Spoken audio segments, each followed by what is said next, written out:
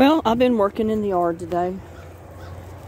I got most of my Christmas stuff up. I got all my trees down off the arch and my deer and my sleigh and all that stuff packed up in the shed. And then I honestly got out here and worked on my four totes that I showed you in one of my other videos. I went ahead and got them leveled up the best I can. And uh,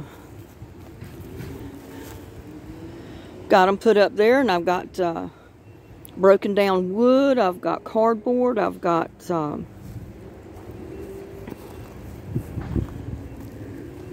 and that's broken down piece of wood. It just falls apart in your hand. It looks like rocks, but it's not. it's just broken down wood bark. It's basically turned into cardboard is what it did. But anyway, like I said, I've got broken down wood. I've got some green, uh, like tomato plants, pepper plants and stuff like that that was had died from the cold. And I've got those under the dirt. I put those down in there and I've got newspaper, cardboard, and then I've got native soil on top and with some more of this broken down tree right here. but I'm going to put a little bit more soil on top of it. I've just got those for the bottom. But I get got all of them fixed that way. So they'll be settling down. So when we get that good rain we're going to get, it'll help wet all that in the tote. It'll help settle it down and it'll start uh, turning into compost. And I'll be adding food scraps and stuff to it as well. I just aren't going to do that today. I'm, I'm just, I've got wore myself out. I got so tired.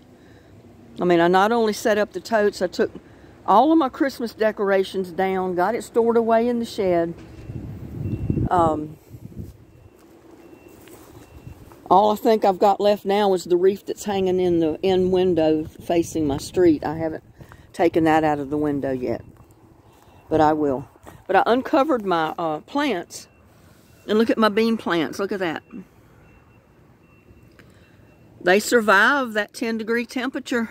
Look at there. Some of them got wilted down, but I'm hoping that they're going to sprout back up. But for the most part, they're looking pretty good. And look at this. I've got, uh, I don't know if you can see it. They're so small. The little sprouts right at the end of my finger. That is the leek. The leek sprouts right there. And there's one over here. I don't know if you can see it. They're so tiny. But, and see my lettuce?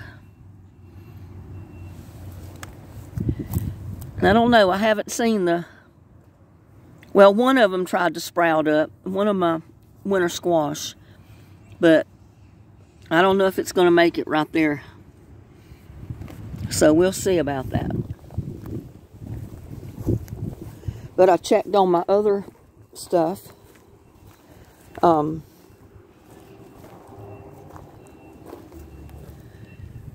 some of the spinach is okay, look. And some there. It killed a little, a couple of them, but not many. And you can see there the plant is still alive. Right there. These I don't know about.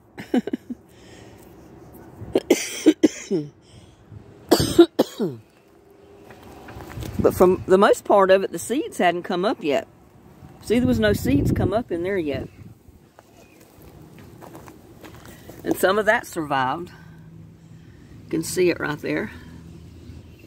I just laid something over the top of it. I mean, see? You can barely see that, I guess. But it's alive right there. One right there.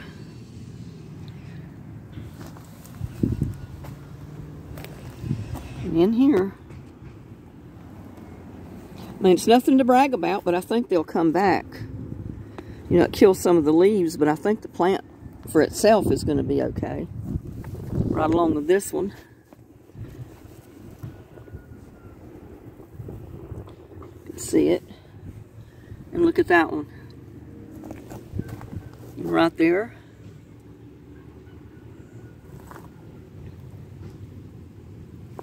We get that rain we're supposed to get, all the seeds that haven't come up or should be coming up.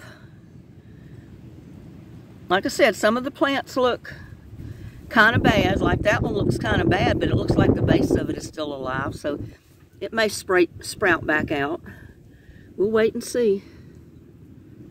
That one there. Got one right here. And get the camera on it.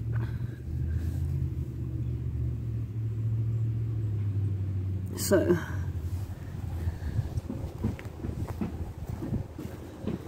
we'll take a look at some of my other stuff.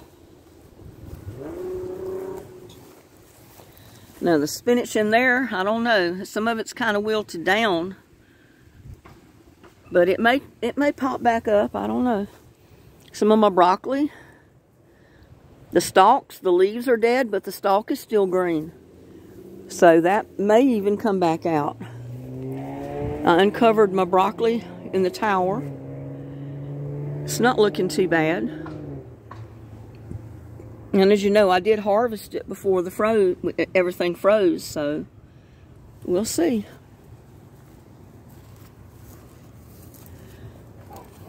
You can see that one, some of the leaves that were left on it kind of don't look too good, but it's still alive, so it should put out more leaves. And that one down there. My garlic.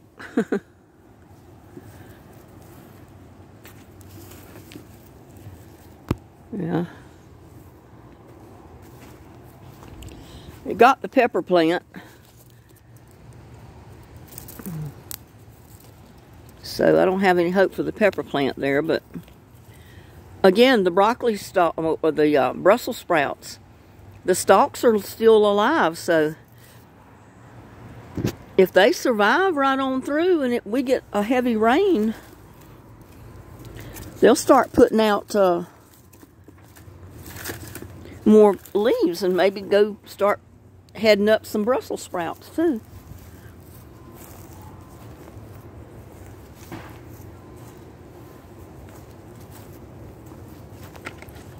Can see here my collards, some of the leaves froze and died, but the plant itself is still alive, so it'll come back. The little one didn't fare as good. The main plant looks like it's still alive, so it may have a chance. But the leaves on it burn up from the coal that freezing temperature. Haven't planted anything in, well, I did plant. I plant carrots and beets and parsnips right there. But they didn't have a chance to even sprout yet, so I, I didn't worry about them. But everything else pretty much gave in to those 10 and 12 degree temperatures that we had. So, I've been busy getting um, some of the dead plants off of the trellis here. Because I need to put the foot section to it that I've still got that you know I didn't put it to it before because it's not quite as heavy or not as high as the main trellis up there. Because it'll go up about another foot. So I need to get those on the two of them this arbor here and this one right here, I've still got another foot section of uh, that I need to put to the bottom of it to raise it up. That way if uh, the tomatillos and tomatoes and stuff grow up on it again this summer like they did last summer, they won't be hanging down hitting my head. But I'll have to get a step stool or something to stand on to be able to get up high enough to pick anything off of it, I'm sure. But that's okay.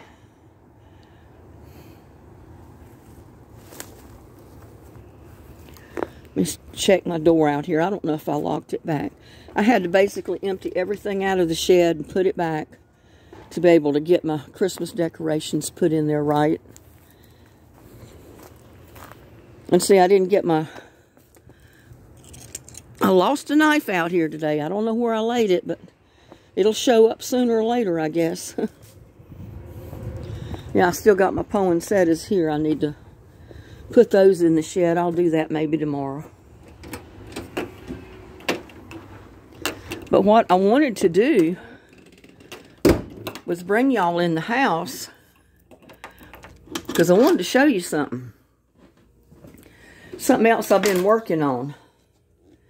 And I'm thinking about, uh, whoops, sorry about that. I'm thinking about uh, spring planting when I'm going to do this. Or thinking about it when I did this. Let me get this camera situated so you can see what I'm doing.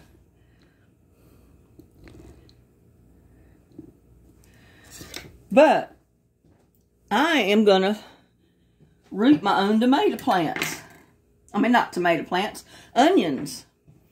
See that one right there? It's putting out growth. And it's got roots. Well, I can't show you without taking it up, I guess. Because the roots aren't that long yet. But look at the roots coming off of that onion.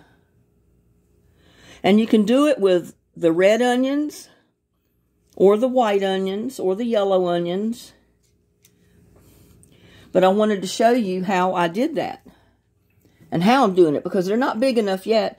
They'll get way big. I mean, they'll make uh, onion sets for you.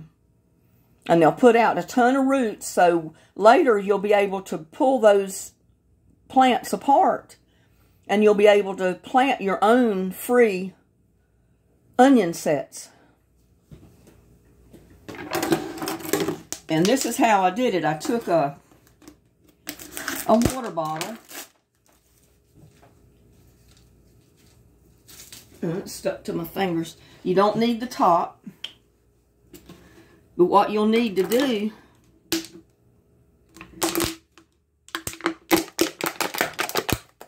is start you a hole in it.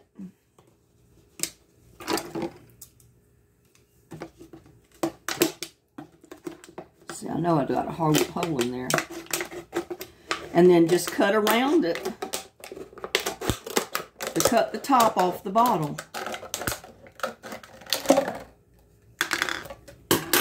And what that's going to do, it's going to make you a planter. You'll be able to put the top upside down, just like that, right in your bottle. And you'll need to fill it with water. Let's see. Got something I can fill with water for you.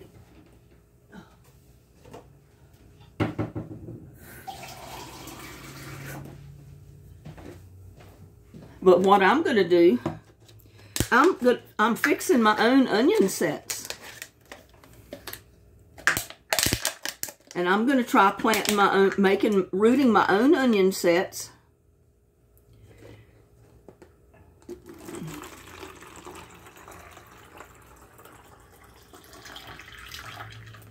And you need to fill it up just till it comes up to the bottom of the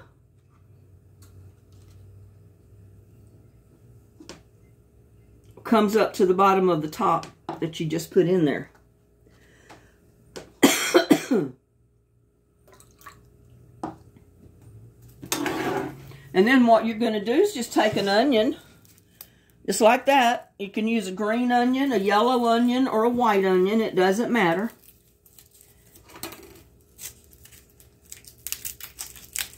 And I'm going to cut all the outer peelings off of it, just like you normally would if you're going to eat an onion. Oops, I cut that and I'm not supposed to.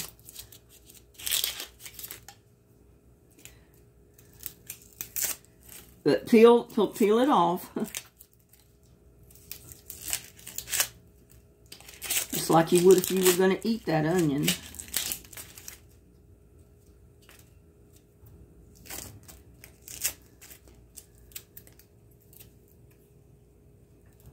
And then cut some of the look, just a little bit of the bottom. So it's not so hard for the water to get it. You don't have to cut the whole bottom off, just a little bit. And then cut it about one third of the way up.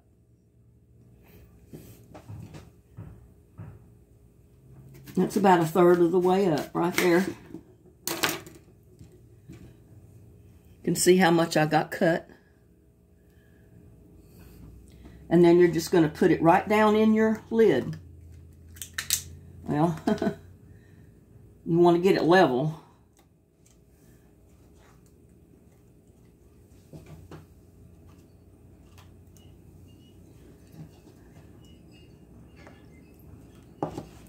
Make sure your water goes up into the bottom of your top. Sometimes these onions can get a little big. And if you're using onions that are bigger than your lid, then you're going to have to get a bigger bottle, basically.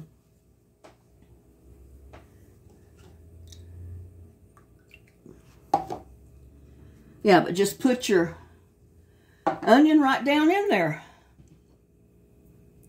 Just like that. And in a couple of days, it's going to start sprouting up. And it'll put out plants just like this one over here did. And then by springtime, or in just a couple of weeks, I'm going to have my own onion sets that I can break apart and I can put out in my garden to plant. I may put some of them in one of the totes out there. I don't know. But, yeah, you don't want to get an onion that's so big you can't get it down in there when you cut it off. But that's about a third of the onion I cut off of there. And it goes right down in there. And that's about the perfect size. And what I've been doing, I'm going to show you up here. I got this old air conditioner in my window, and it's been there forever. And it's got a, like a shelf where it comes off of the, or comes through the window. You can see there it's got a shelf on it. I don't use this AC anymore, and I need to get it out of the window. But, you know, you got it costs money to get anything done. So I put it right there in the window. And I'm going to put this one right beside it.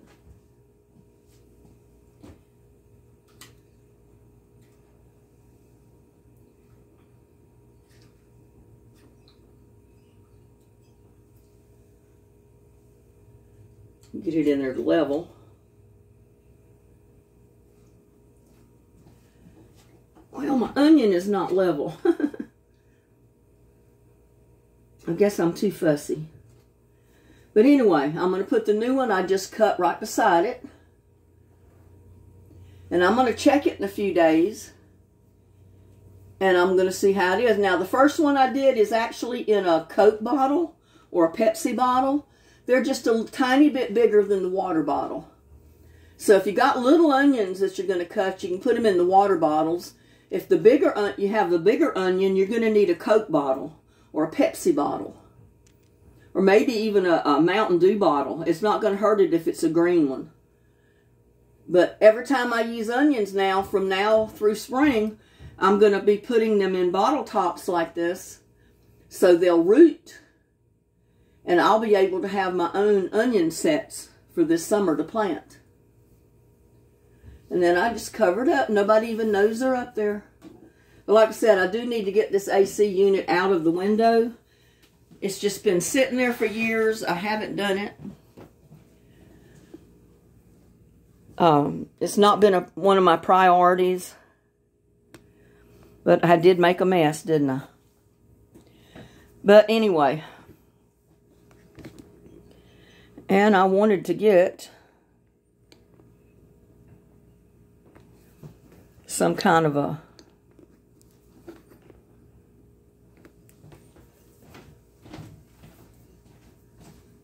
thumbnail with that. Let's see. Yeah, the Pepsi bottle works a lot better than the um,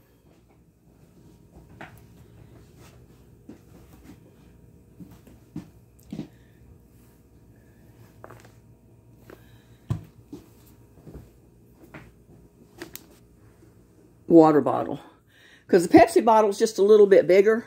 And then, too, the onion, you can see the onion has swiveled up a little bit. But you, you have it out of the water like this, and there's just a little bit of water going up the top of the bottle that will hit the bottom of that um, onion top down in there. You can see right there. And it's enough that the roots will start going down through the top of the bottle, down into the bottom of the, the uh, remainder of that bottle there. It'll grow from the top and go down. And it keeps the onion up out of the water so the onion itself doesn't rot. You don't want the, the onion to rot or it'll never grow.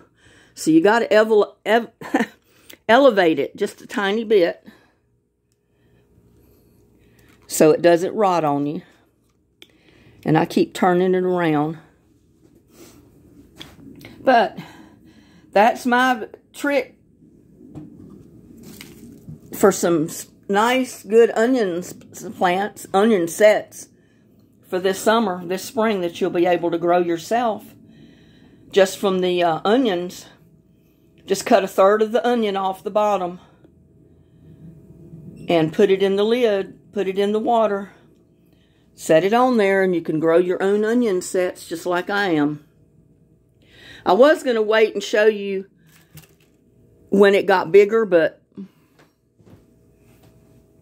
and show you when I actually broke them apart, but I wanted to let you get started now on doing that. So you'll get a jump on getting your own onion sets grown for this summer, this spring. And I will, you know, show them later in the video when I do break them apart and I get ready to plant them to show you how they ended up.